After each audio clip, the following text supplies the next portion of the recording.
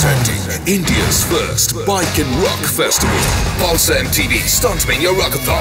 Gravity-defying stunts on pulsars by Ghost Riders and burn down the stage with Parikrama live in concert. And that's not all. This is your big ticket to the Stuntmania auditions. Coming soon to Shillong, Kolkata, Bhopal, Chennai, Delhi, Pune. Pulsar MTV Stuntmania Rockathon, India's first bike and rock festival.